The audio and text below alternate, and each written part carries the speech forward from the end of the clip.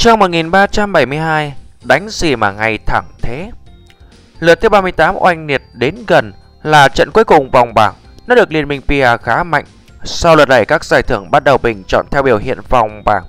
Còn giải thưởng vòng chung kết là riêng biệt. Được quan tâm nhất, dĩ nhiên là giải MVP Vô số tiền thủ để giành rất nhiều. Cả Bạch Thứ mới gia nhập 301 từ mùa đông cũng góp mặt.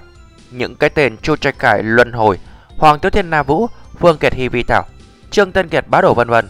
Tất các đối thủ hạng sao không thiếu một vé như mọi năm. Ngoài ra phải kể tới Diệp Tù, người quay lại liên minh một cách lẫy lưng Tuy thành tích chiến đội Hưng Hân không vượt trội nhiều luân hồi, Nhưng là một đội mới toanh. Những gì Hưng Hân đạt đến là kỷ lục lịch sử. Vai trò của Diệp Tu ở Hưng Hân cực kỳ quan trọng. Nếu liên minh xem xét tất cả yếu tố trên, Diệp Tu chắc chắn là MVP miễn bàn cãi. Điểm trừ trước mắt Diệp Tu là 4 đợt nghỉ đấu liên tục. Ở giai đoạn cuối để lỡ giai đoạn mấu chốt này tuyển thủ bất lợi trong cuộc đua giành MVP Để chọn MVP liên minh phải tính trên nhiều phương diện. Xa xa một cái giải thưởng chỉ quan trọng thành tích hoặc số liệu thì đơn giản hơn gấp bội. Ví như vua solo này, thuộc về Diệp Tu một cách nghiễm nhiên 36 lượt thắng solo liên tiếp cơ mà. Hoặc như nhất kích tất sát, giải thưởng cho người thực hiện số hit chính mạng nhiều nhất trong đoàn đội. Theo thống kê trước mắt, Chu Trạch Khải coi như cầm chắc. Ngôi sao chấn thủ lôi đài trao giải lượng máu cao nhất lôi đài Tới lượt cuối cùng lộ diện người đoạt giải tôn tưởng chiến đội luân hồi Ngoài ra các cặp cặp đôi hợp tác tốt nhất, tân binh tốt nhất Người thứ sáu tốt nhất thì tương tự MVP không chỉ xem xét số liệu mà phải xem đánh giá biểu hiện của mọi mặt các ứng viên sau 38 lượt. Tất cả đều chỉ đợi lượt 38 kết thúc. Tới ngày 5 tháng 6, 20 chiến đội liên minh vinh quang tề tụ dưới nhà thi đấu nghênh đón trận chiến cuối cùng. Đài truyền hình chọn trận luân hồi Bách Hòa phát sóng trực tiếp. Bách Hòa hiện đang xếp hạng 9, muốn vào top 8 buộc phải nhỉnh hơn Hồ Kiếu một điểm hoặc hơn 301 3 điểm. Vừa rồi bá đồ bị dẫn trước 3 điểm, Bách Hòa vẫn là kiên cường thắng ngược 7 điểm. Mọi người vì thế mà mong đợi Bách Hòa có thêm một cái pha đẹp mắt với luân hồi. Chưa ai quên rằng Bách Hòa chính là kẻ chặn đứng chuỗi thất bại liên tiếp của luân hồi. Hồi lừa đầu vang bảng, mà trận đêm này là quyết định số phận Bách Hòa mùa giải thứ 10. Lượt đấu cuối, sân nhà các trận quan trọng chật ních, thậm chí Hai đội Kiều là Lâm Hải và Minh Thanh không chút vắng vẻ. Mùa giải sau họ không góp mặt nơi đấu trường này nữa. Phan có lòng nén đối với họ. Ở bên họ ở thời khắc đổ máu cuối cùng cho dù chẳng thể thay đổi được gì. 8 rưỡi tối. 10 sàn đấu đồng loạt khai chiến. Trên sân nhà Hưng Ngân Dẹp Tu đứng trước thềm solo trận thứ 37 Thách thức chuỗi kỷ lục thắng do chính mình tạo lên. Đêm này Chắn trước mặt hắn là Bạch Thứ tuyển thủ kỵ sĩ nhận được vô vàn quan tâm nửa cuối vòng bảng. Do 301 từ châu Âu thỉnh về, trận cuối rồi Diệp Tử vẫn trung thành phong cách chọn bản đồ bấy lâu, loại bản đồ đơn giản ít địa hình, Thấy cờ va chạm trực diện. Vừa vào game hai nhân vật lập tức thấy nhau từ xa. Nhân vật của Bạch Tứ là kỵ sĩ triều tịch, toàn thầm, là tấm giáp màu bạc lấp lánh. Đứng dưới ánh nắng rực rỡ càng thêm chói mù, tấm kiên ánh bạc sinh mệnh tỏa ra như là tấm gương lớn Chà, chọn bản đồ hơi xui. Trên hàng ghế hưng ngân, Phương Duệ nói. Sao thế? Trần quả hỏi. Sáng quá chói mắt. Phương Duệ trả lời. Ý cậu là chàng bị triều tịch phản xạ ánh sáng quá mạnh. Trần quả nói. Đúng vậy với hiệu ứng hình ảnh của Vinh Quang. Vụ phản xạ ánh sáng gây ức chế lắm. Phương Duệ nói. Nghe vậy Trần quả lo lắng. Cô không ngại mất một điểm solo. Chỉ không muốn nhìn thấy kỷ lục chiến thắng liên tiếp của Diệp Tu bị chấm dứt. Thậm chí lượt đầu, Diệp Tu không nên solo cô còn cành cánh mãi tới giờ Thiếu mắt lượt đầu, kỷ lục chưa có thể mắc 37 trận chứ không phải 38. Một tí vết nhỏ nhỏ mà gây ra tiếc nuối vô cùng. Người ngoài trận nói chuyện còn người trong trận đã lao vào nhau. Âm âm âm, nhờ ưu thế khoảng cách quân mặc tiếu lộ phát pháo đầu tiên, bà phát pháo chấm tăng xé gió bay tới. Xung phong, bất ngờ thầy Bạch Tứ không hề tránh. Điều khiển châu tịch dùng xung phong, Khương khiển cháy trước người. Ba quả pháo chống tăng và thẳng vào khiên nổ tung. Châu tịch mặc tiếng nổ, mặc khói đạn tiếp tục lao đến khoảng cách song phương càng lúc càng rút ngắn tấm kiền ánh sáng sinh mệnh tỏa ra dưới ánh nắng theo góc nhìn của diệp tù hiện ra trước mắt khán giả là cái vùng chói chang trả các hiệu ứng đạn pháo sáng của chuyên gia đạn dược coi kìa phương duệ sớm nhìn theo góc diệp tu từ đầu, lúc này bỗng giơ tay chỉ mọi người cùng coi. Anh dũng bật nhảy, chủ tịch phi thân húc tới. Nhưng mà từ góc nhìn Diệp Tù chỉ thấy ánh sáng lóe lên, Sau đó chẳng thấy gì. Hồ Quang Thiểm, dùng kỹ năng di chuyển Diệp Tù lướt thật nhanh. Đó là phản ứng bản năng từ kinh nghiệm bao năm. Đối thủ biến mất kể cả biến đi đâu, Chẳng qua là muốn tấn công mình, Vì thế phải di chuyển liên tục tìm cơ hội lôi đối thủ ra. Triều tịch từ trên cao nhảy xuống quân mặc tiếu lao đi. Hai người xem như là trao đổi vị trí. Hồ Quang Thiểm xong quân mặc tiếu lập tức nhảy lên cao. Giữa không trung xoay người, Vừa thấy triều tịch liền biến ô thiên cơ thành hình thái súng. Đoạn một viên đạn bắn ra. Vâng chỉ một. Ấy vậy mà triều tịch lại không giờ kiên đỡ đòn.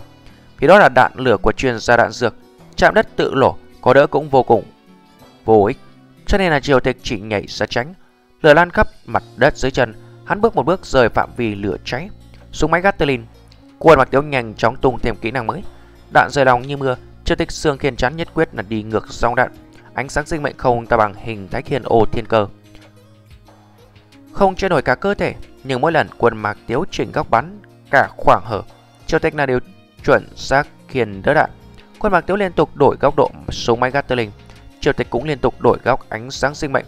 Vãi thật Phương Duệ tán phục tuy ngô kiếu có kỵ sĩ Hắn hiểu rõ sâu ngày này.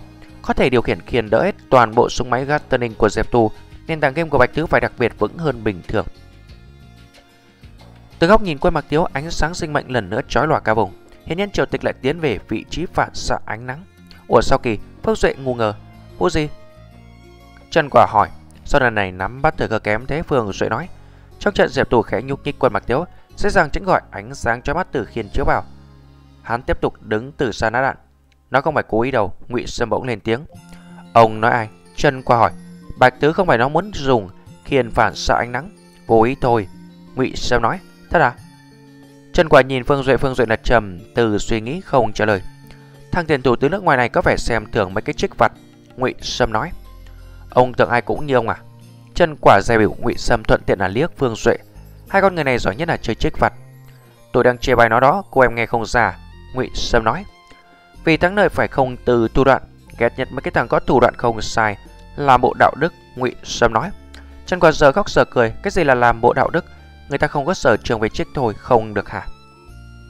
Thủa chắc, ngụy Sâm rủa, Cái này tụi đồng ý, Trần Quả gật đầu.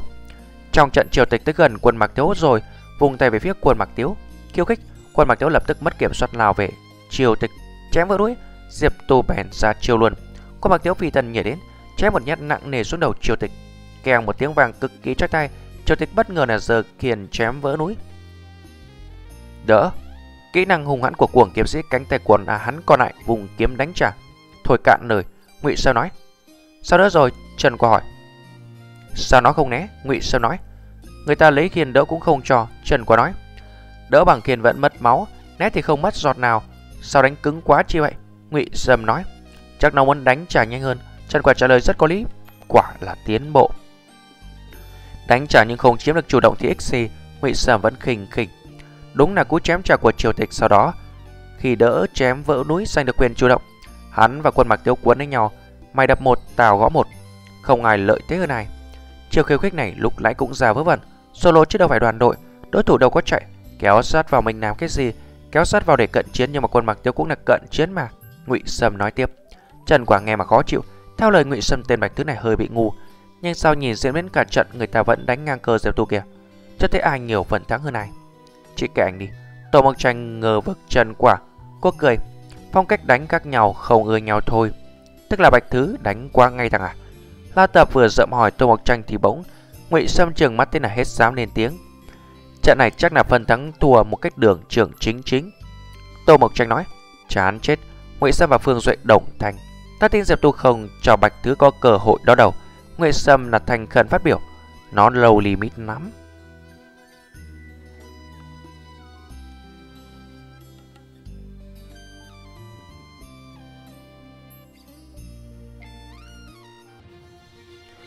Chương 1373 Trình độ đỉnh cấp. Phần thắng thua đường đường chính chính chân quả tiên Tô Mộc Tranh hơn ngụy Sâm nhiều. Nói thật, đầu là biên giới giữa đường đường chính chính và no limit cô không phân biệt được. Tập tự trình phán xét. Bạch Tứ đột nhiên là dùng đại chiều khoảng cách cực gần Chiều tịch húc thẳng tới bằng tốc độ ngang với xung phong Cả kiếm lẫn khiên vùng cục. Cùng lúc vùng mạnh Hồ Quang Thiểm quân mặc tiếu lướt đi mang theo về sáng sắc lạnh. Thập tự trinh phán xét có thể điều chỉnh phương hướng, nên khi quân mặc Tiếu vừa lách qua phải, chờ tới cục ập về bên trái. Với tốc độ khổng kém xung phong, thập tự trinh phán xét đủ sức đuổi kịp Hồ Quang Thiểm. Hít đầu tiên đánh hụt nhưng hít thứ hai là đến trước mặt quân mặc Tiếu. Xung phong, Diệp Tốt tiếp tục dùng kỹ năng dịch chuyển. Quân mặc Tiếu đổi hướng, né hít thứ hai từ chiều Tịch, đâm xung phong, thuật phân thân, trượt đất. Diệp Tu không ngừng di chuyển bằng kỹ năng. Thế mà quân Hoàng Tiêu vẫn không có cách nào thoát khỏi Triều Tịch. Bạch thứ quá nhanh quá chuẩn, liên tục thao tác thập tự trình phán xét, chuyển hướng theo quân Mạc Tiếu. Khán giả dõi hai người góc nhìn mà âm âm theo phạm vi hẹp há hốc mồm. Diệp Tu xài chiều một đống nghề, một đống nghệ nhưng lại có thể liền mạch luật nả như đúng rồi, như chúng sinh già dành cho nhau. Bạch Tứ thì ngược lại, từ đầu tới chót chỉ một kỹ năng trôi chạy là đương nhiên. Nhớ rằng hắn phải chạy theo Diệp Tu, Diệp Tu thích gì là làm đấy, hắn vẫn bám sát không rời quả là đáng sợ. Trong khoảng các thời gian ngắn ngủi, hai người thực hiện đến mấy pha di chuyển. Có khi một chiều chưa đi hết, đã phải bắt đầu chiều kế tiếp. Đến khi trượt đất cũng dùng rồi, người ta mới nhận ra hồ quang thiểm trên cái kỹ năng của quân mặc tiếu chưa cùn đào xong. Lúc trước có người từng thống kê các kỹ năng di chuyển cấp thấp của quân mặc tiếu biết sai, bao gồm hồ quang thiểm của thích khách xung phong kỵ sĩ, đầm sông phòng cuồng kiếm sĩ, trượt đất thiện giả, thuật phân thân ninja có thể tạm tính, tổng cộng 5 chiều quá đủ cho các tình huống bình thường. Đêm nay Diệp Tu lại bị bạch thứ ép sai cả năm, vẫn mặt vẫn chưa có thể thoát thân Số hết đánh của thập tự trình phán xét level 75 là 9, triều tịch mới đến hit thứ 5, còn sơ 4 hit nếu Diệp Tu có ép kỹ năng dưới cấp.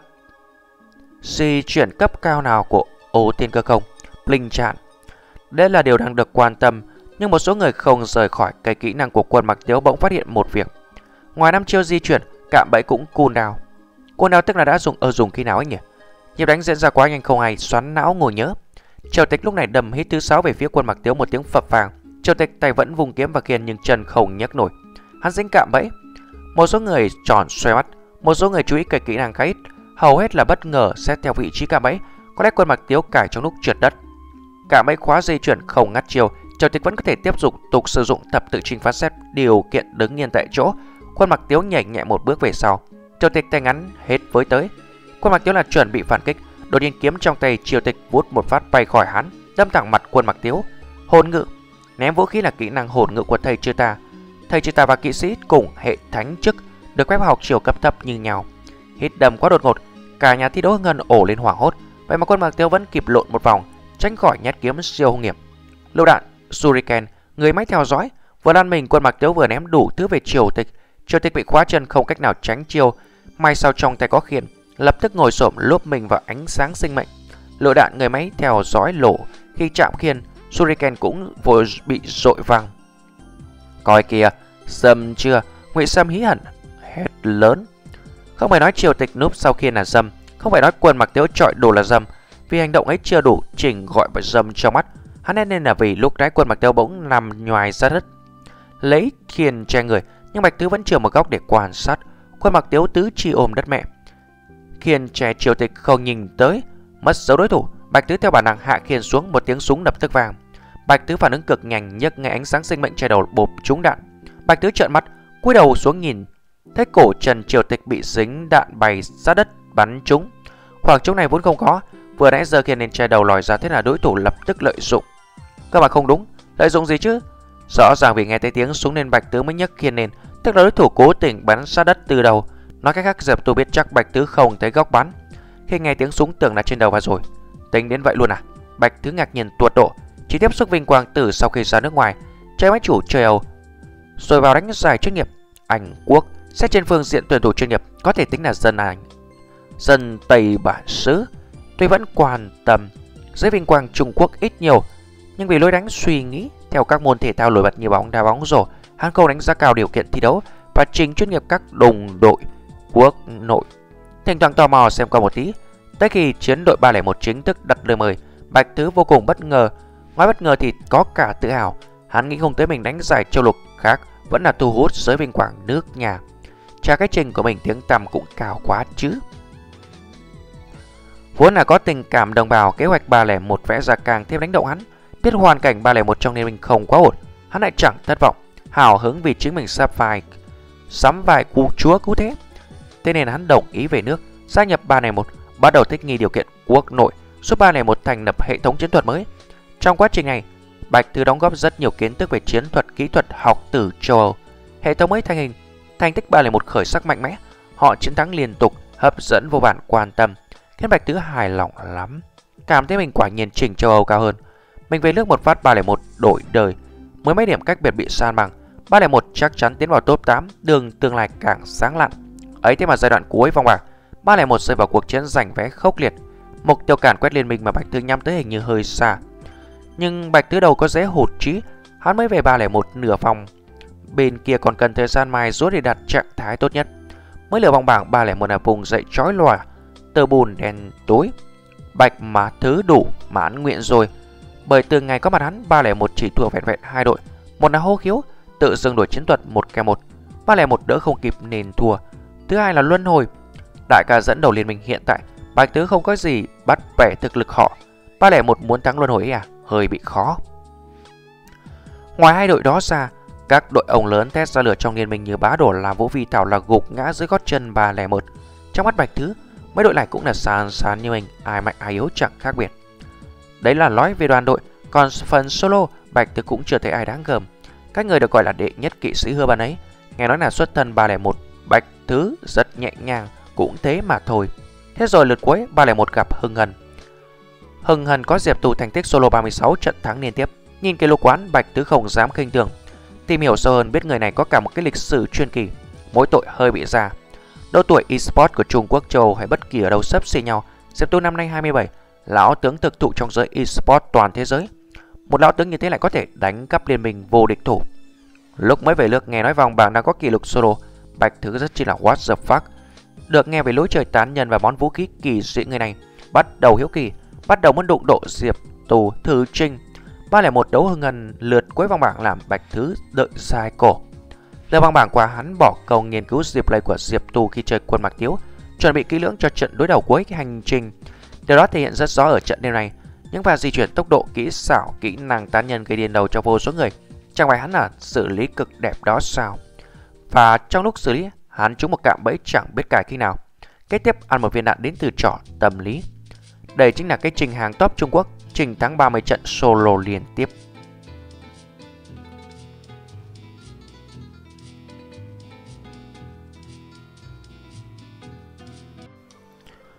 Chương 1374 Kill Trích 37 Viên đạn của Diệp Tù giải công tính toán không thể là đạn tầm thường, nó là kỹ năng của chuyên gia đạn dược đạn đồng cứng. Ngay khi nó ghim vào cổ chân triều tịch, quân Mạc Tiếu lập tức lướt thẳng ra sau lưng bắt đầu tấn công. Bão triều tán nhân, cụm từ nổi tiếng Bạch Thứ từng nghe, từng nghiên cứu, tự nhờ mình không cho Diệp Tù có cơ hội thực hiện. Thế nhưng sự thật nói với hắn rằng, đối thủ không cần hắn cho, Diệp Tu tự tạo cơ hội ấy.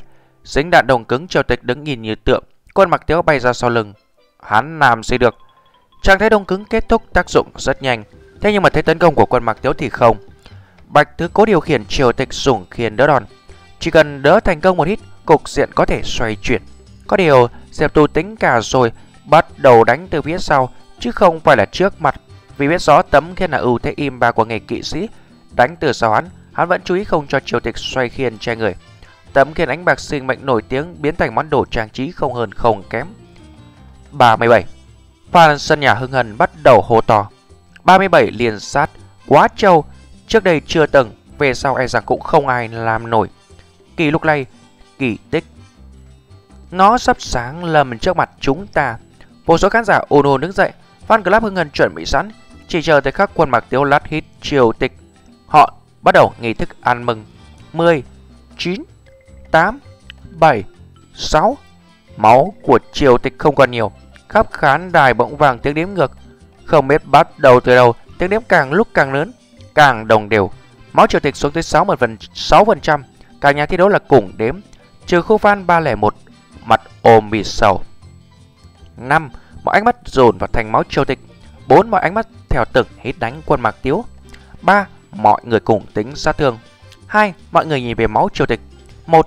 Quân mặc tiếu bổ thêm một hit Chết đi ba Trăm người như một không ai ghét gì Bạch Thứ Nhưng này họ nhìn Bạch Thứ như kẻ thù Không, tiếng hồ đạt đỉnh điểm Quân mặc tiếu chém một hit rút đao chạm Máu theo lưỡi kiếm vàng Tùng tóe giữa trời Máu chủ tịch 0% 37 Sau không bỗng là 37 Không ai cảm thấy kỳ dị bởi tất cả mọi người chờ khoảng khắc này. Bùm bùm bùm bùm. phá bồng thì nhau lổ vàng khắp cả này. bồng giấy đủ mọi màu sắc bày tả tung bầu trời. Nó là chuẩn bị trước cho fan club hưng hần. Bố trí người cầm pháo bông ngồi thành vòng cho lớn để nhà thi đấu có thể cùng ăn mừng. Thậm chí khán đài dành cho fan đội cách 301 không biết vì sao cũng có gian tế trà trộn. Bắn được một phát pháo bông rồi thì chắc là bị fan 301 diệt khẩu. 37. Giữa bầu trời pháo bông, giữa tiếng gào thét điên cuồng của fan hưng hần, nước mắt trần quả rơi xuống. Dẹp Tô thực làm được từ một quản lý tiệm nét ca đêm. Hắn dốc lòng thành lập chiến đội hưng hần, tự tay đánh đổ xà thế chiến được cho hơn 7 năm dòng. Quay về sàn đấu này, lập một kỷ lục kỷ lục kinh người có lẽ từ đây về sau không ai vượt qua nổi. Hắn lấy tên thật của mình vĩnh viễn các nền mảnh đất vinh quang nhiệt huyết cháy bỏng. Thật mạnh mẽ, chân quả lau nước mắt. Phải, No Limit như ngụy Sâm cũng không đùa cợt. Hắn chỉ đáp chân quả bằng một câu đầy khẳng khái. Phải, thật sự quá mạnh. Thằng con này sao mạnh thế vậy? Không lẽ nó còn mạnh hơn cả 10 năm trước. Điếu phải con người, Phương Duệ mắng. Kéo tuyển thủ đời sau đi tính sao? Kỷ lục gì mà mạnh tới mức mắc ói? Muốn vượt qua chỉ có thể thắng liên tiếp 38 trận nhỉ? đừng nhung nhìn ra thấy tia hy vọng mỏng manh. Lão đại uy vũ, lão đại bá khí, bánh bao gạo. Không hồ là tiền bối kiểu nhất phạm nói. Phục kê luôn, cả đời em cũng khỏi mờ. Na tập nói, là đội trưởng chúng ta xuất thân Phan Bá Đồ. An Văn giật khó có thể nào quá thích Diệp Tu. Giờ này khác rồi, giờ cậu đổi luôn hộ khẩu Phan. Tuy không lên tiếng ánh mắt mạc phạm nhưng cũng đầy thán phục khó giấu. Cùng một con người không lên tiếng đó là Tô Mộc Tranh. Có biết tường tận mọi gian khổ của Diệp Tu suốt 2 năm qua. Biết hắn điên cuồng đắp lên kỷ lục thắng không vì bản thân mà vì một lòng ký thác. Quân Mặc Tiếu tấm thẻ tài khoản ấy vốn thuộc một người khác. Hắn lẽ ra tung hoành, đánh đầu tháng đó dưới tay người nọ. Tiếc rằng điều đó không thể trở thành hiện thực. Giờ đây Diệp Tù thầy hắn đi suốt hành trình mua giải, cầm trong tay quần Mặc Tiếu để lại kỷ lục vĩnh viễn không phai mờ. Người ta có thể không biết đến tên hắn, nhưng quần Mặc Tiếu nhân vật do hắn tạo nên mãi mãi lưu danh vinh quang. Tốt, thật quá tốt. Tô Mộc Tranh đứng dậy vỗ tay. Cô không khóc bởi cô chưa bao giờ không tin tưởng Diệp Tù. Anh nói anh sẽ trở về, thế là anh trở về. Anh nói anh chỉ thắng không bại, thế là anh thắng 37 trận không bại. Anh nói mùa này phải đoạt quán quân, Tô mặc Tranh tin tưởng quán quân thuộc về Hưng Hân. Cửa phòng thi đấu mở, Diệp Tù bước ra, tới khi giữa sân có tiếng hoan hô càng vang dội, khắp nơi là bùm bùm bùm. Tiếng pháo hoa đồng loạt phóng tới, đánh dấu đợt ăn mừng thứ hai từ Phan Hưng Hân. Mỗi tội phát pháo bên khán đài đội khách hơi trễ, mọi người một chút, bị Phan Ba Lệ một canh chừng nghiêm ngặt. Vị hào hán kia vẫn là đột phá trùng vây bắn thêm một phát, quả là anh hùng của giới mộ điệu. 37, mọi người tiếp tục hô vang. Diệp tô vẫy tay tới một cái vòng khá giả, tỏ ý biết ơn, sau đó bước xuống sân. Một kỷ lục quá tuyệt vời, cùng lúc trên sóng trực tiếp luân hồi với Bách Hoa, tổ ký hình tranh thủ thời gian ít ỏi giữa hai trận solo, chen vào cảnh sân nhà Hưng Hân. Một nhà đài chuẩn bị từ trước, không có phát sóng trận Hưng Hân và 301, nhưng không muốn bỏ lỡ thời khắc lịch sử, hình ảnh thời khắc này nhất định phải có. May mà Diệp tô đánh bại Bạch Thứ trận solo đầu tiên giữa Luân Hồi và Bách Hòa cũng vừa xong. Mặc kệ cảm nhận Phan Bách Hòa khó khăn giành về một điểm đầu tiên trên sân cách. Đài truyền hình nhìn thấy cơ hội quá đẹp, chàng buồn đắn đỏ cắt ngay cảnh, quay qua sân nhà hưng hân. Hai bình luận viên Phan Lâm và Lý Nghệ Bắc tương tự đếch buồn khen ngợi lão tướng trường vĩ của Bách khoa có thể chiến thắng ngôi sao Lữ Bạc Viễn của Luân Hồi. Vừa thấy cắt cảnh, họ lập tức cả tụng kỷ lục thắng vô tiền khoán hậu của Diệp Tù. Một kỷ lục quá tuyệt vời, một kỷ lục quá tuyệt vời. Phan Lâm lặp lại 3 lần, hắn tìm không ra lời nào để miêu tả. 37 liên sát Diệp Tu, còn người này thật là Lý Nghệ Bắc cũng nghèo tử. Vĩ đại Phan Lâm Eureka. Ừ, Lý Nghệ Bắc chỉ gật đầu chứ không phụ họa. Xuất thân là người báo đồ. Bảo hắn dùng góc nhìn trung lập nói về Diệp Tu đã có, còn cả ngợi xưng tụng Diệp Tu vĩ đại ấy à? Lý Nghệ Bắc không có dễ chịu đầu. Phan Hưng Ngân đang rất kích động. Họ phóng pháo bông đầy trời ăn mừng phút giây ra đời kỷ lục vĩ đại. Phan lầm tường thuật cảnh tượng xảy ra ở sân nhà Hưng Hân. Hiện Diệp Tu đang xuống sân, toàn thể khán giả là đứng dậy vỗ tay. Tuyển thủ hai đội cũng đứng dậy. Chiến đội 301 rất có phong độ. Dù họ là hòn đá lót đường cuối cùng của anh ấy. Hả? Trọng tài cũng vỗ tay luôn. Ông ấy đang ở đứng bên sân vỗ tay. Đúng là kỷ lục gây xúc động lòng người. Có thể ở tận nơi, tận mắt chứng kiến thời khắc này quả là hạnh phúc. Phan nầm nói. Trọng tài vỗ tay xong và nói gì nhỉ? Ý, hình như ổng kêu đánh tiếp. Trọng tài hơi nghiêm khắc quá nhỉ? Thời khắc mang tính lịch sử để mọi người vui vẻ thêm một lúc có sao đâu. Phan nầm nói. Lượt cuối mà quan trọng lắm, Lý Nghệ Bác nói. Vâng, Màn hình này hiển thị cặp đấu kế tiếp. Bên Hưng Hân làm là tập. MVP trận đoàn đội trước thưa các bạn. Tần Bình là tập, người khiến cho chúng ta vuốt mắt mà nhìn. Còn bên 301 là ai? Ồ, kiếm cách cao kiệt. Nào chúng ta cùng, à, chúng ta cùng về với nhà thi đấu luân hồi. Luân hồi với Bách Hòa thưa các bạn. Phan nầm túa mồ hôi, suýt chút nữa là bình luận trận chung kết Hưng Hân 301 luôn rồi. Trên sân nhà luân hồi, hai đội chuẩn bị đánh trận solo thứ hai. Bách Hòa có khởi đầu tốt khi giành về một điểm solo, trong khi 301 thua Hưng Hân một điểm. Đây là tin tốt cho Bách Hòa. Tuy nhiên đối thủ Bách Hòa nhắm tới nhất định phải là Hồ Khiếu. Tin tức truyền về từ sân nhà Vi Tạo cho hay Hồ Khiếu thắng trận solo đầu tiên tiếp tục đè đổ Bách Hòa như cũ. Đừng quan tâm ai khác, đánh thật tốt phần mình mới có tư cách giành giật cơ hội. Đội trưởng Bách Hòa là Vũ Phòng cổ vũ đồng đội. Trận solo thứ hai, Bách Khoa cho Chu Quang Nghĩa lên sân, đối đầu đội phó Giang Ba Đào luân hồi. Thắng. Vài phút sau Bách Khoa thu thêm tin thắng trận. Chu Quang Nghĩa đánh bại Giang Ba Đào đem về một điểm cho Bách Khoa. Hôm nay trạng thái Bách Khoa tốt quá, Phan Âm và Lý Nghệ Bắc khen ngợi, hai trận solo liền nhau tướng Bách Khoa đều phát huy vượt trình. Cứ mỗi trận đánh xong mọi người là lập tức xem điểm các đội cạnh tranh. Hưng Hần đấu 301, 301 thắng trận thứ hai, Phan Âm tưởng thuật tin chiến trường. Vi Thảo đấu Hồ Khiếu, Hồ Khiếu thắng trận thứ hai, Lý Nghệ Bắc lật tay. liệu. Ô vậy Bách Hoa tạm thời vẫn chưa, vẫn là thua sút. Phan Âm thở dài, đấu trên sân khách Bách Hoa vùng lên cướp luân hồi hai điểm liên tục, vẫn chưa có chút quả ngọt e rằng là sĩ khí bị đả kích không nhẹ. Hy vọng Bách Hoa kiên định, bình ổn tâm lý đánh tiếp. Trận chiến đêm này chỉ mới bắt đầu thôi, Lý Nghệ Bác nói.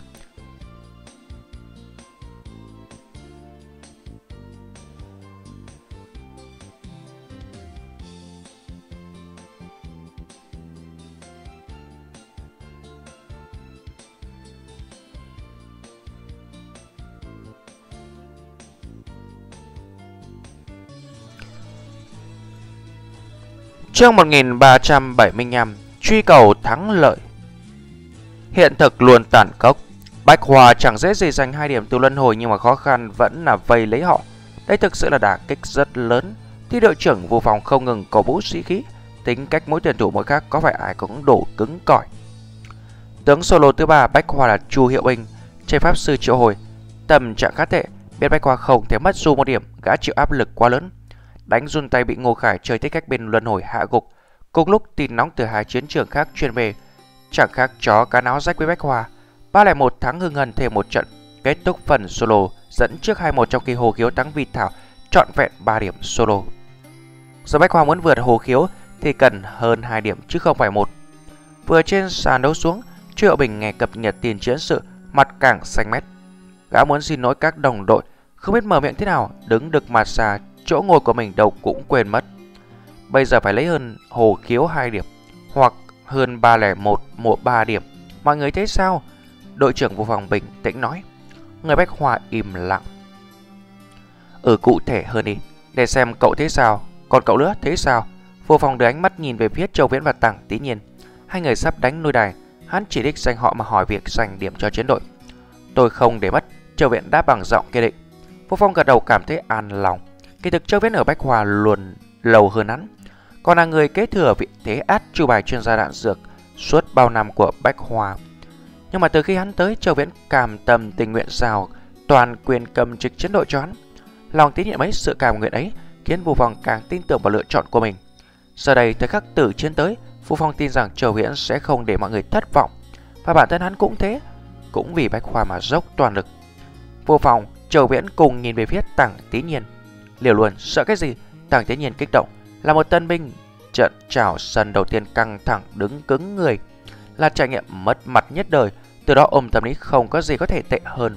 Tàng Tín Nhiên càng đánh càng hăng, dần dần giành về cho mình một chỗ đứng vững trong chiến đội, tới mức có thể góp mặt trên phần lôi đài ở chiến dịch quan trọng như đêm nay.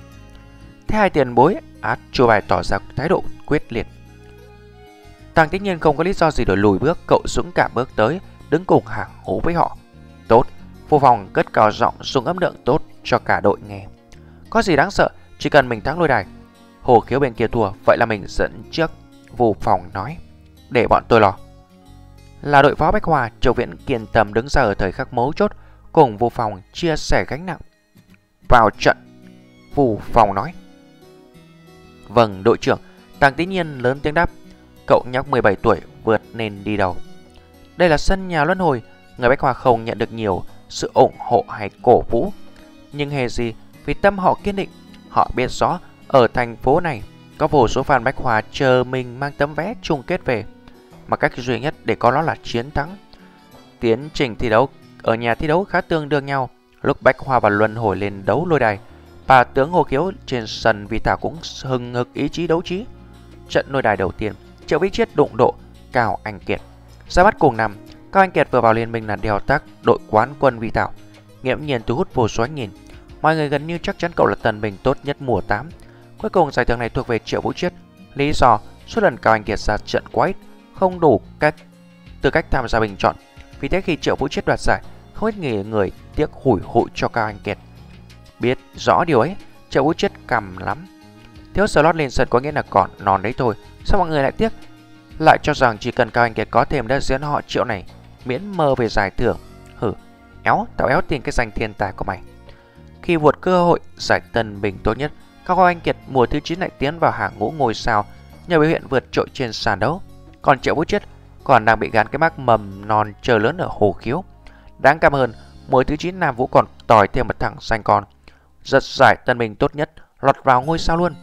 Liên minh Vinh Quang thành lập tới nay là tròn 10 mùa giải, dành cho tân binh tốt nhất lần đầu tiên ở mùa thứ ba. Chào cho Vương Kiệt Hỷ cùng năm, mùa thứ tư Trương Tân Kiệt, mùa thứ năm Chu Trạch Khải, mùa mùa thứ sáu là Vũ Phong, mùa thứ bảy Tôn Tưởng, mùa thứ tám Triệu Vũ Chất, mùa thứ chín Lử Hãn Văn. Toàn bộ là tuyển thủ hạng sao thậm chí là đại thần hạng A. Trừ Triệu Vũ Chất, tên cậu ta nhạt nhòa chen giữa, được mọi người chơi tặng thêm danh hiệu tân binh tốt lợp nhất. Tao không có lợp Triệu Vũ Chất cực kỳ muốn chứng tỏ bản thân, không có vừa mắt bạn cùng mùa là Cao Anh Kiệt. Cái đứa nên làm tân bình tốt nhất mùa 8 hơn đấy. Coi tao thôn anh may. Trên đường vào phòng đấu, Triệu Vũ chết hạ quyết tâm. Lady thiên tài vừa spam ra, Triệu Vũ chết quát trên kênh trùng, cậu ta phải cho mọi người thấy thiên tài chẳng là gì. Cao Anh Kiệt không có trả lời điều khiển Mộc Ân đi về phía trước.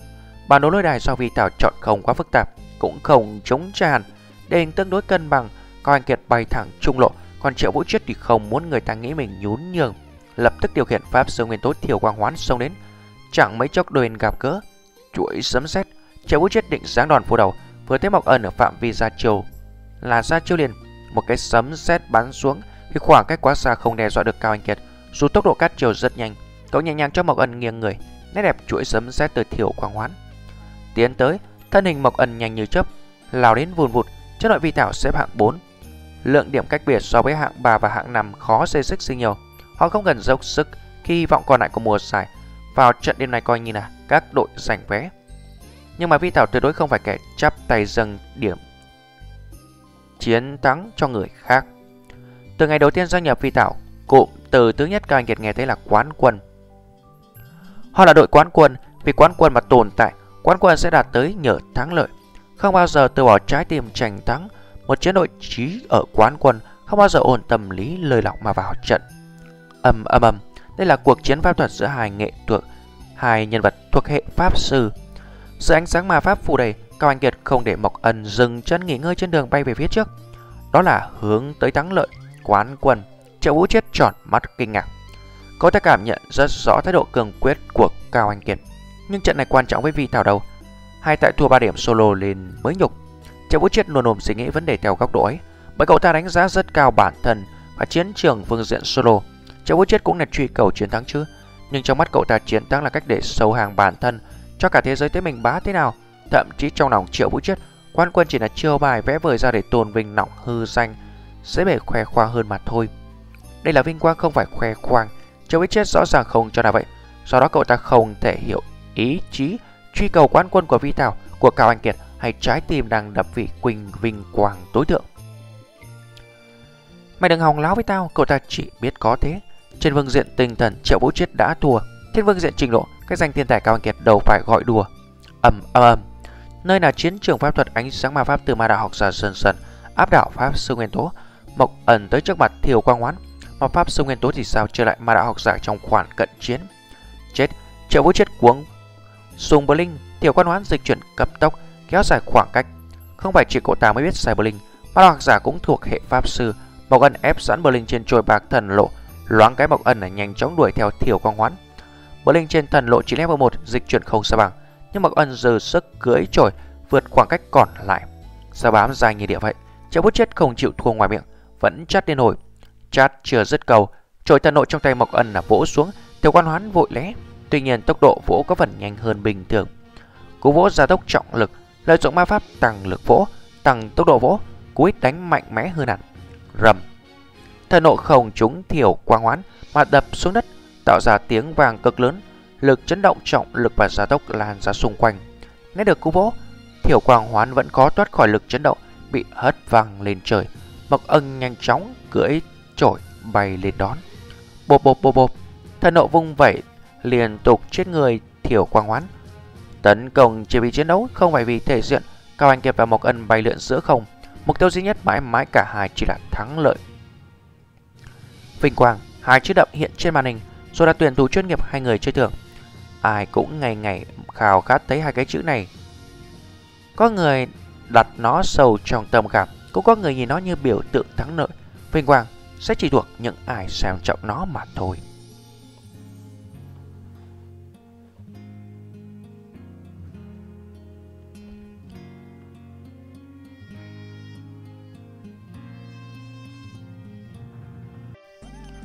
Chương 1376 Cách gọi là tài năng. Vi Thảo đấu hồ khiếu, Trận đấu lối đài Vi Thảo thắng. Ở sân nhà luân hồi, Phan âm thường xuyên cập nhật tin tức chiến sự cho khán giả biết. Các trận khác cũng phối hợp chuyển với hắn tin tức nóng sốt. Ở đây là tin tốt cho Bách Hoa, Nhưng Bách Hoa lại đang Lý Nghệ Bắc bỏ sở giữa chừng. Trận đấu lôi đài chưa kết thúc, Tình thế khá bất lợi cho Bách Hoa. Tăng tín nhiên lên sân với khí thế solo. Đánh rất hàng máu đáng tiếc tướng đầu của luân hồi lại là tôn tường. Tôn tường nào có lương tay cho ai. Trình tăng tí nhiên không bằng, kinh nghiệm cũng ít, sẵn có vất vả. Cậu chỉ cố đánh bằng ý chí liều mình, nhất quyết không chết không về. Tăng tí nhiên là dốc hết sức tiếc tay vẫn thua dưới tay tôn tường. Chẳng lẽ lúc tia hy vọng xuất hiện thì Bách Hoa lại không có sức nắm bắt Phan Nầm nói. Phan Bách Hoa ngồi trước tivi túa cả mồ hôi Nếu Bách Hoa thắng và đối thủ cạnh tranh cũng thắng thì không nói, Đằng này đối thủ cạnh tranh đã sẩy chân, Bách Khoa không thể tự thân vận động. Mùi vị ấy khó nuốt tới mức nào. Cố lên, Phan Bách Hòa đồng tâm cầu nguyện. Bách Hòa vẫn là còn hai tướng, cũng chính là cặp át chủ bài hiện tại chiến đội. Phan Bách Hòa tin rằng Châu Viễn và Vũ Phòng tuyệt không nhường bộ. Chiến tới giọt cuối cùng, ôm liền tin ấy, Châu Viễn nhập trận.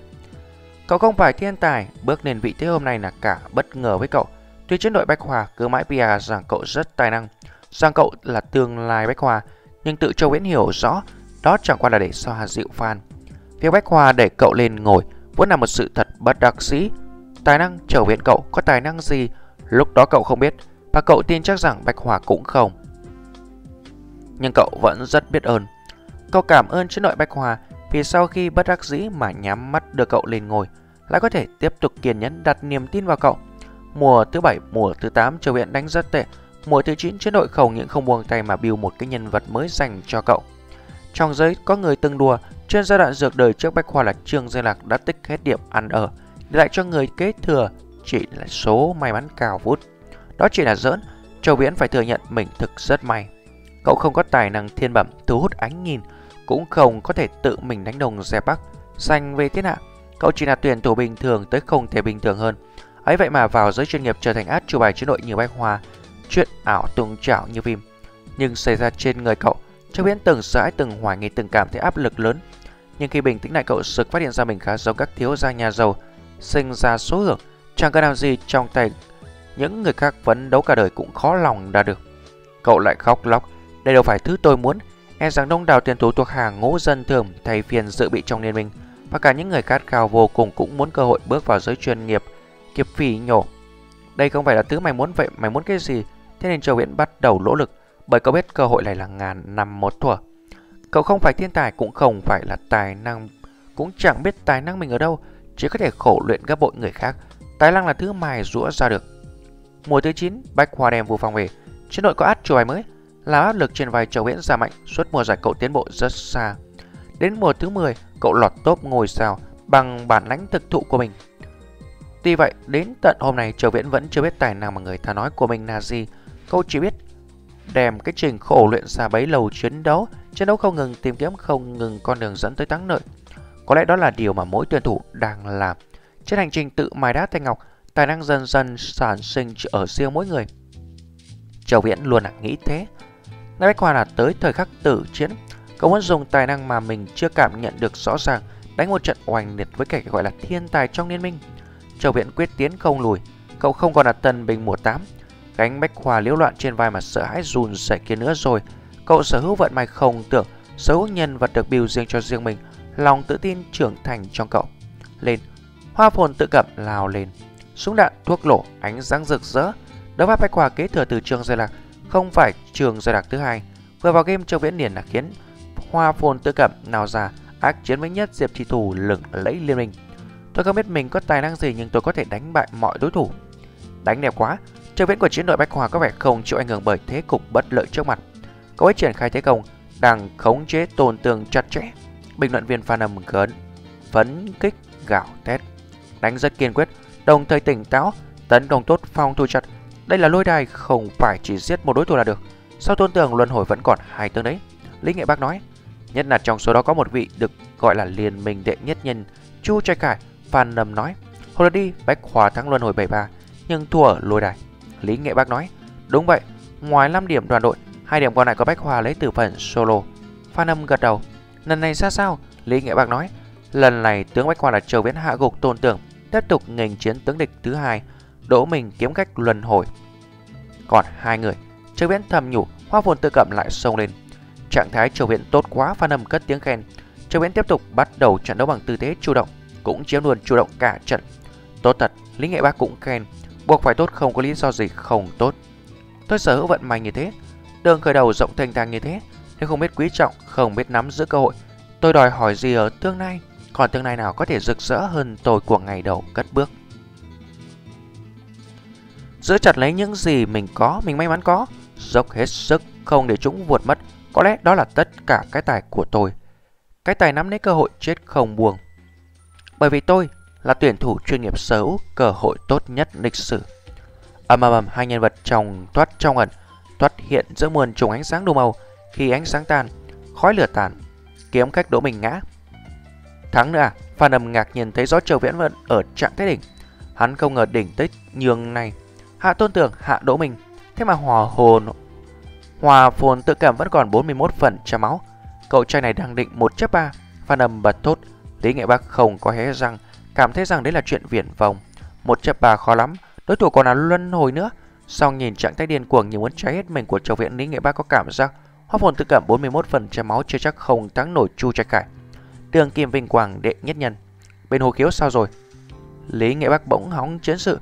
Hắn là muốn thả lỏng đầu óc một chút vì dõi mắt theo chuỗi liên sát điên cuồng của châu viện làm hắn và Phan Đâm đều căng cả não. Vi Tảo đang hơn người, hai đánh một, hồ khiếu chỉ còn mỗi một đường hạo Phan Âm hàm hở báo cáo là bình luận viên hắn không quá thiên về bên nào trên phương diện tình cảm.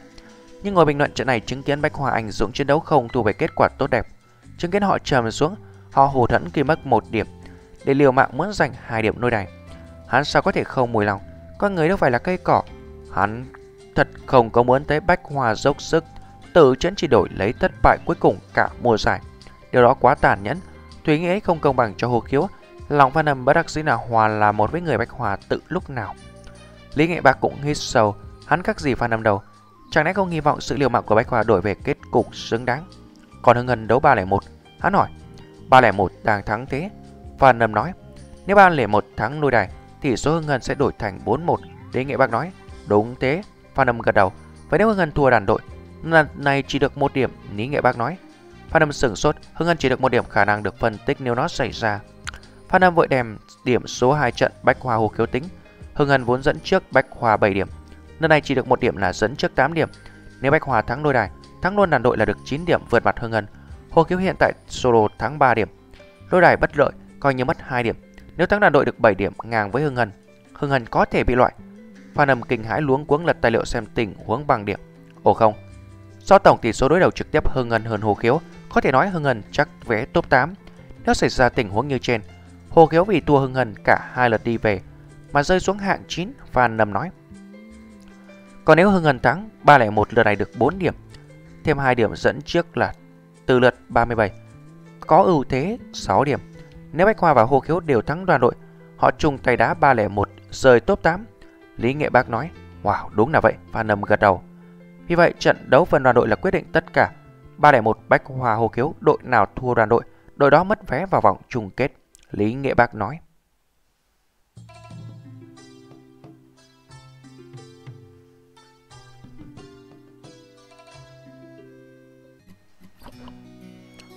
Chương 1377 Nắm quyền chủ động Để giải tỏa căng thẳng, Phan Nam và Lý Nghệ Bác phân tích sơ qua tình hình trước mắt Trong trận nhất tường diên vân của chú trai cải Spa và Châu Viễn lần thứ ba hùng dũng lao lên Đối mặt với đường kim vinh quang đệ nhất nhân cậu không mạnh may sợ hay chùn bước Súng vang liên thanh Họng súng hai phe không ngừng tóe lửa Đạn bay rào rào Cắt xé Không khí trở thành dấu thế gió Châu Viễn đánh rất chủ động mà Chu Trai Khải nào kém cạnh.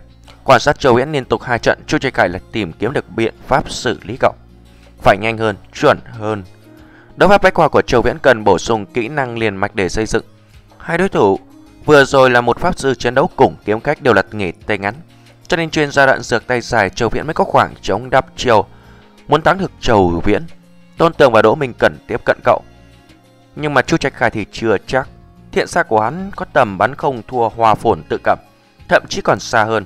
Vừa chạm mặt, nhất thường xuyên vân chút toàn bộ hỏa lực vào đầu. Hòa phồn tự cầm, nhất quyết không để Châu Viễn có cơ hội sử dụng đấu pháp bách hòa. Đây đều là nghề đánh xa, hai người lúc này là cuốn lấy nhau chặt chẽ như nghề tay ngắn. Làn đạn là sợi dây trói buộc giữa họ. Những cái cơn mà đạn tuôn ra như hình thành liên kết, không một ai lùi bước. Họ bắn nhau đôi công, muốn đọ xem ai tính toán đúng hơn, ai thao tác chuẩn hơn. Cơ thể hoa phồn tụ cẩm, chốc chất tóe máu bởi đạn ghim vào người. Cơ thể nhất thương xuyên vần chốc chốc lại lảo đảo bởi lụ đạn đủ hiệu ứng. Thao tác là thứ hai người dùng để khắc phục. Lúc này ai nhượng bộ ai chậm chân người đó yếu thế. Tiếng súng chỉ ngừng một khi hai người ngã xuống. Nhất thương xuyên vân. Người còn lại đứng lại là nhất thương xuyên vân. Trước trách cải thắng, ngăn châu viễn một chấp ba luân hồi. Tuy nhiên giá phải trả không nhỏ. Nhất thương xuyên vân chỉ còn 59% máu. Hắn lấy 41 đổi 41% máu của Hoa Phồn tự cẩm đích thực là một trận ngang cờ đến từng giọt. Châu Viễn chiến thắng bằng hết sức. Trong các đối thủ từng đấu lôi đáy với Luân Hồi, cậu ắt hẳn là người đánh đẹp nhất, xuất sắc nhất vòng bảng này. Không thể uổng phí nỗ lực Châu Viễn. Ôm lòng quyết tâm phù phòng vào trận. Người từng đấu đến giọt cuối cùng là tự tay trao lại vị thế át chủ bài Bách hòa cho mình. Mình gánh trách nhiệm ấy, sao có thể cống hiến ít hơn cậu ta? Nếu hơn mình lấy tư cách gì tiếp nhận trọng trách? Màu tới đây. Vô phòng chat trên kênh trùng, đệ nhất cuồng kiếm lạc hòa làng tạm, phù bụi suốt mấy năm qua. Từ ngày vô phong gia nhập vào Bách Hòa, đã trở về chiếc ngai của mình. Giờ phút này hắn chỉ mũi kiếm vào phía vinh quang đệ nhất nhân. 59% máu cũng chém không chết, ta còn mặt mũi nào gặp anh em Bách Hòa. Trọng kiếm táng hòa chạm Bất chấp mưa đàn, mưa đạn, từ nhất thương xuyên vân bắn vào, hắn sẽ kiếm dũng mãnh lao tới. Sẽ thắng chứ? Phan Bách Hòa chưa bao giờ cảm nhận rõ kỳ vọng trong lòng mình như hiện tại. Rồi chắn trước mặt họ là Chu Trái Cải kẻ luôn đem đến ý nghĩ thua cuộc cho mọi người. Thắng đi, phải thắng, nhất định sẽ thắng. Hầu như không ai chú ý đến tiết tấu trận đấu, chỉ quan tâm tới hai thành máu. Thứ bắt mắt nhất trong cuộc chiến này, thắng thua, chỉ có thắng thua tất cả vì thắng thua. Thời khắc mà thắng thua chỉ cách nhau một sợi chỉ ai quan tâm đến trình thao tác phe nào đẹp hơn chứ. Máu là thứ trực quan nhất vì thế mọi người chỉ nhìn nó, hai thạch máu trượt dần. Chính là lời tường thuật rõ rệt gay cấn nhất cho trận. Máu ai rớt nhanh hơn, ai rơi chậm hơn. Nhất thương xuyên vân hay là hoa làng tạ. Ánh mắt khán giả chỉ tập trung vào hai điểm. Đôi lúc tổ ghi hình cắt hình để mất thanh máu, khán giả giật mình chửi mắng. Tới phút quan trọng tổ ghi hình là hiểu lòng khán giả dù xoay camera đi đâu cũng đảm bảo thấy máu hai nhân vật. Sẽ thắng chứ? Sẽ không thua đâu chứ? Sau máu nhất thương Xuyên Vân chỉ còn 5% trong khi Lạc Hoa Lang Tạ 32%. Tranh lệch cực lớn. Nhưng mà chưa đến phút cuối, chưa ai dám buông bỏ lòng bất an. Đi đứt mẹ đi, ý nghĩ của Phan Bách Hòa trăm người như một và rồi họ chứng kiến. Táng Hòa chạm thẳng xuống như gió lốc đặt cú dứt điểm trận đụng độ. Thắng rồi, sân nhà luân hồi bỗng ầm tiếng hét.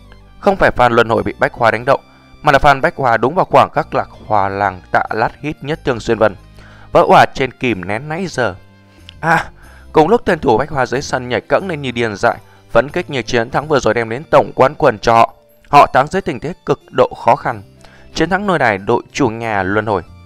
Bên kia sao rồi? Ai đó đột nhiên hỏi tin về Hồ kiếu Vừa nghe thấy bầu không khí bỗng trở về căng thẳng như cũ. Nếu Hồ kiếu là thắng lôi đài Bách Hòa như trước dẫm chân. Bên cười, người đọc tin kích động, thua rồi Hồ kiếu thua Vi Thảo. Vậy tụi mình, tụi mình dẫn trước một điểm. Hay quá, tuyển thủ và phàn Bách Hòa trên Xuân nhà lần hồi đều được cập nhật kết quả lôi đài của trận Hồ Khiếu Vi Khảo. Hồ Khiếu thua chỉ tạm dẫn được 3 điểm sau hai phần đơn.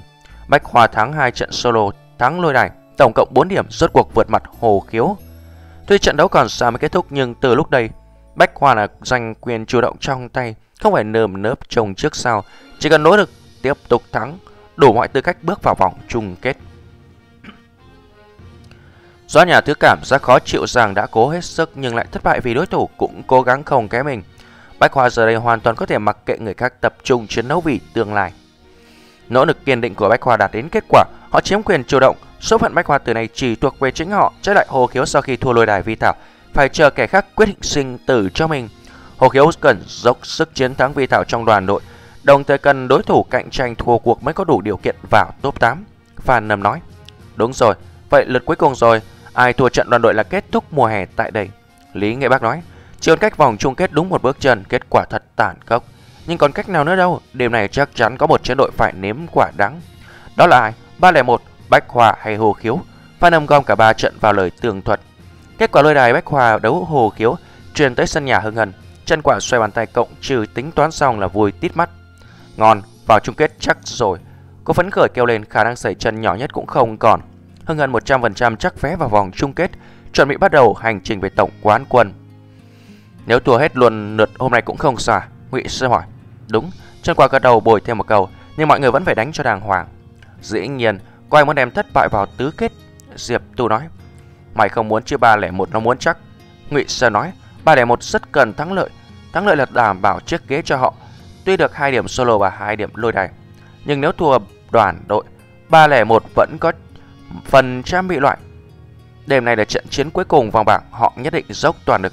Kệ tụi nó, giờ tôi nói, Dám thắng mình liên tục 4 điểm Phải cho tụi nó một bài học đúng chứ tiêu đường. Đương nhiên Thôi lôi đài đường như đang hừng hực đấu trí. Được rồi chúng ta lên. Trận cuối vòng bảng hạ màn đẹp mắt nào. Diệp tôi nói Vái trời tụi nó văng luôn top 8 Cho cả mùa hè này đều phải nằm ác mộng khi thấy tụi mình Hà hà Ngụy Sâm cười Ok Đi tặng tụi nó ác mộng nào. Diệp tù vùng tay. Đội hình đấu đoàn hưng hần đồng loạt đứng dậy. Diệp tù Tô Mộc Tranh Phương Duệ Kiều Nhất Phàm, An Văn Giật, người thứ sáu Đường Nhu, đây là đội hình thường thấy nhất của Hưng Hân vào vòng bảng, cũng là đội hình đạt dấu chấm hết quá trình đã qua. Bên phía 301, đội trưởng Dương Thông hoàn tất việc động viên sĩ khí, 6 tuyển thủ lộ diện, Dương Thông, Bạch Thứ, Cao Kiệt, Lý Diệc Huy, Tôn Minh Tiến, người thứ sáu Tiền Văn Cử. Đây là đội hình chủ lực của 301 nửa cuối vòng bảng, tính từ ngày Bạch Thứ gia nhập. Nhờ đội hình này, 301 trở thành vùng dậy Nay là một trong chiến đội đủ sức giành vé tứ kết. Họ từng đánh bại một loạt ông lớn làm vũ vi tảo bá đồ đều ngã sạp. Chỉ tiếc là lửa chặng đường đầu thành tích 301 hơi kém, cho nên giai đoạn cuối mới phải rằng cò gian khổ. Ngoại giới có đủ lý do để tin tưởng nếu 301 thành công bước vào tứ kết, họ chắc chắn tiến xa, bởi họ chứng minh cho liên minh thấy rằng mình đủ thực lực để tranh đua, dù là đối với cường đội, thậm chí hay ông lớn, phải thắng. Toàn quân 301 gạo thét, 6 tiền thủ lên đoàn sân, Sĩ khí Mark sau khi giành từ hưng hân tới 4 điểm cực đẹp.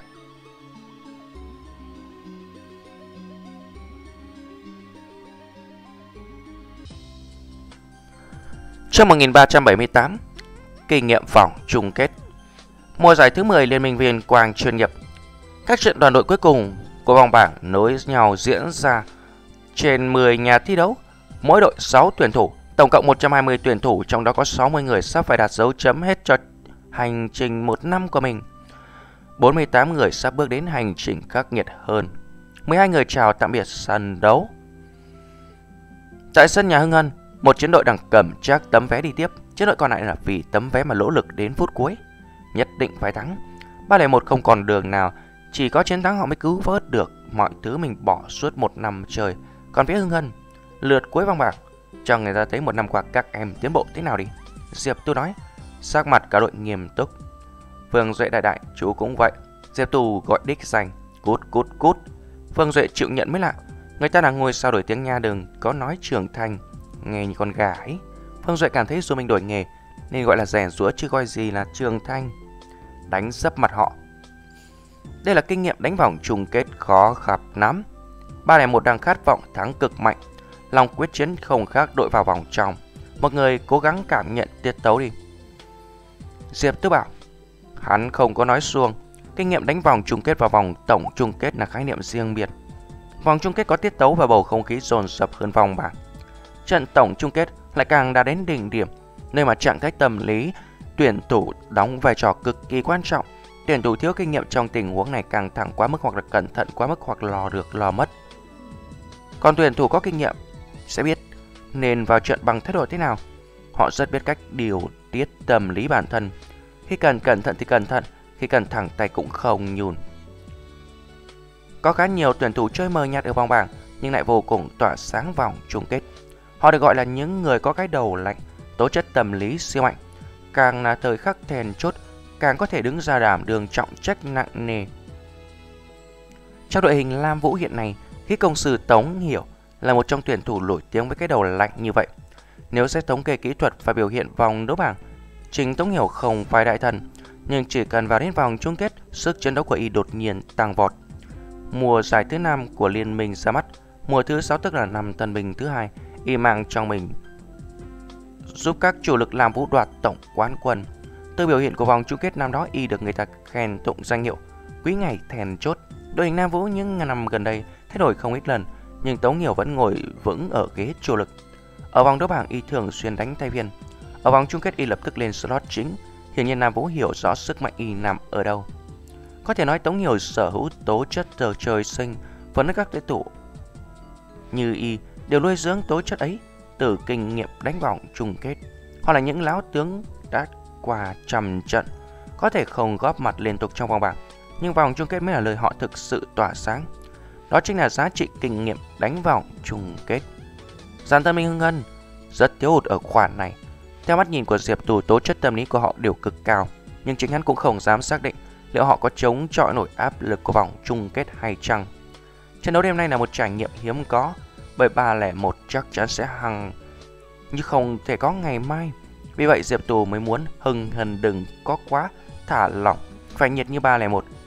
Phải trải nghiệm bầu không khí của một trận đấu sinh tử. Mấy lượt gần đây cũng gay cấn đấy, nhưng không sánh nổi với tính chất sống còn của lượt cuối. Càng không gánh nổi cường độ vòng chung kết về sau. Rõ, người hưng hân đáp họ lối đuôi nhau lên sân vào vòng đấu. Bên kia 301 đã sẵn sàng quay thẻ đăng nhập Hai đội đồng loạt vào trận. Trên bản đồ lầu gỗ mà Hưng hân chọn có một cao điểm vô cùng quan trọng, sẽ đặc thù chiến thuật của 301 hiện tại. Nếu như cao điểm trên bản đồ bị chiếm, hành động của họ sẽ bị kiểm soát hoàn toàn. Đấu pháp liều mình một hit đang dùng cũng gặp kìm hãm gắt cao. Do đó ý đồ chiến thuật của ngân bắt đầu game rất dễ đoán, chiếm cao điểm. 301 không đến mức mà mù thịt bản đồ này. Vừa vào game họ lập tức xông thẳng về phía trước nại yếu điểm chiến thuật lầu gỗ không có nằm gần điểm spam ra của đội nào. Buộc hai đội phải di chuyển một khoảng cách như nhau để có thể tiếp cận. Muốn biết ai tới trước phải xem tốc độ di chuyển. Toàn quân 301 cùng lao đi nhưng rất nhanh có sự phần nấp rõ rệt. Phong cảnh sát đội trưởng Dương Thông vượt trên đầu dường như không có ý định chờ đồng đội bật mắc tốc độ di chuyển phóng về lầu gỗ. Sở hữu khá ít trang bị bạc thuộc tính nhân vật hưng Hân không phải. Bài toán khó Vòng bảng đánh đến lượt 38, Hưng Hân là thu hút vô số quan tâm, khó tránh bị nghiên cứu sâu sắc. Do tốc độ di chuyển, Dương Thông có lòng tin mình không thua bất kỳ nhân vật bình thường nào của Hưng Hân. Tiếc thay đội Hưng Hân có một nhân vật không bình thường cho lắm. Quân Mạc Tiếu, nếu tên tán nhân này sử dụng chuỗi kỹ năng di chuyển, e rằng tốc độ là vượt qua phòng cảnh sát. Tuy nhiên Dương Thông đoán Hưng Hân là không để quân Mạc Tiếu đảm nhiệm toàn bộ việc chiếm ưu điểm. Cao điểm Quân Mạc Tiếu là tay cận chiến chính của đội hình chủ lực Hưng Hân nên người thích hợp đi chiếm cao điểm là Mộc Vũ Trang Phong mới đúng. Mộc Vũ Trang Phong di chuyển không nhanh bằng phong cảnh sát, Sương Thông nghĩ Hưng Hần cũng cần nhắc điều này. Phương án ổn thỏa nhất cho là quân Mạc Tứ đi chiếm chỗ trước, sau đó chờ Mộc Vũ tranh phòng tới thành. Sương Thông suy đoán rất hợp lý chu toàn. Dẫu bao năm qua chưa từng đạt thành tích cao, sau lần 301 thành công tiến vào vòng chung kết rất nhiều. là tuyển thủ ra mắt vào ở mùa 3. Dương Thông cũng tích lũy từng ấy năm kinh nghiệm, hiểu quá rõ cái cảm giác nghẹt thở của một cái trận đấu sống còn như điều này. Cái gọi là kinh nghiệm đánh vòng chung kết anh dĩ nhiên không thiếu, vậy đến lúc này mới có thể tỉnh táo phân tích vấn đề. Phong cảnh sát một thân một mình lao đi, không phải để chiếm cứ điểm mà để trinh sát. Quân Mạc Tiếu bên Hưng hân chạy nhanh hơn, dễ giành quyền chủ động hơn, nhưng anh cố rằng co sẽ không phải cách hay. Mấu chốt khi đánh ở vòng chung kết là bạn phải đứng ở thế vững chắc khó ngã trước đã. Mấy thứ khác tính sau, do đó Dương Thông chẳng để ý, có ý định gấp gáp. Anh chỉ muốn quan sát thật kỹ bố trí của Hưng hân, muốn xem Hưng hân đánh thế nào. Nếu mình lợi dụng được thì tốt, nếu không thì chờ đợi, tóm lại chỉ cần tình thế không quá bắt buộc anh cũng không. Anh chắc chắn chờ tới khi chắc ăn trăm phần trăm mới ra tay. Lầu gỗ dần dần xuất hiện trong tầm mắt phòng cảnh sát. Di chuyển ngăn nghèo tiếp cận, anh kiểm tra địa hình xung quanh căn lầu. Theo tính toán của Dương Thông, nếu quân mặc tiếu chạy mắc tóc lục, hắn ắt hẳn có mặt tại đây. Nhưng sân thượng chống trải quân mặc tiếu ở đâu dưới lầu bên trong hay lân na gần đó. Hắn là chờ mình bước vào, đánh nén bất ngờ sao. Dương Thông biết tính tốc độ di chuyển của đối thủ, đồng thời biết đối thủ làm tương tự với mình. Tuy đồ bạc ẩn giấu thuộc tính của phòng cảnh sát, nhưng anh trình chiến trong giới suốt bấy nhiêu năm, người ta không tính ra chỉ số chính xác, chứ khoảng 70-80% khó gì. Cao giấy à? Hưng hần đầu có thiếu. Bọn họ chắc chắn không lạ gì anh. Đó là lý do dường thông đi đường vòng, nhằm xác định vị trí quần mạc tiếu. Thế nhưng vào một hồi không có phát hiện thấy hắn.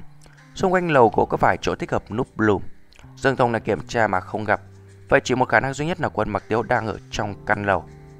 Giữa lầu gỗ là cầu thang xoắn ốc dẫn lên nóc, không có cửa sổ. Nếu đang giấu mình bên trong, quân mạc tiếu khó lòng biết diễn biến bên ngoài. Hắn chỉ có thể mai phục chờ đợi. Dương Thông không tiến thêm một bước xác định, có dự tính khác. Khi đi trinh sát quanh lầu anh tìm thấy một vị trí cầu ở rất tốt. Anh quyết định quay lại lúp lùm. Kỳ thực, Dương Thông cũng không chắc về việc Diệp Tu ở đây. Duy nhất anh dám khẳng định là Mộc Vũ tranh phòng chưa tới. Nếu cứ muốn cấp cứ điểm, cô cũng nhanh chóng xuất hiện. Với vị trí đang núp, phòng cảnh sát dư sức chặn cô, chỉ cần tóm được Mộc Vũ tranh phòng kế hoạch chiếm cứ điểm của Hưng Ngân sẽ xong. Là một thiết cách phòng cảnh sát không sợ cận chiến với bậc thầy pháo súng. Anh có thể áp đảo Mộc Vũ tranh phòng để Hưng Ngân buộc phải qua cứu viện. Khi đó ba lại một là áp chế Hưng Ngân toàn diện, chiến thuật Hưng Ngân cũng là đi về miền dĩ vãn. Mạch suy nghĩ vô cùng logic. Dương Thông không hồ là láo tướng đầy kinh nghiệm, nhất là kinh nghiệm đánh vòng chung kết. Phong cảnh sát lặng lẽ vào chỗ, chỗ của anh chọn cực kỳ đẹp, vừa bao quát hướng spam ra của Hưng Hân, vừa đảm bảo bản thân không bị ai tập kích. Trên sân thượng, hai bên dưới lầu gỗ đều không thấy nơi này vì đây là góc chết. Thế là vừa yên vị vừa có tiếng pháo bỗng vang bên tai. Tới rồi. Dương Thông biết đó là Mộc Vũ Tranh Phong đang dùng phi pháo di chuyển. Tiếng động càng lúc càng gần, Dương Thông ầm thầm đếm ngược, muốn tấn công vào thời cơ tốt nhất. Ầm ầm ầm. Dương Thông nhìn ra trong đầu hình ảnh Mộc Vũ Tranh Phong bay đến từng đợt pháo. Ầm, đây rồi. Sau một tiếng nổ, một tia chớp xẹt ngang lão Dương Thông, kinh nghiệm tích lũy bao năm cho anh ý thức rất mạnh, không cần tính toán cảm giác ra bản nan. Phong cảnh sát đứng phát dậy, Mộc Vũ Tranh Phong quả nhiên hiện trong tầm nhìn. Hồ Quang Tiểm, anh lão vút đi.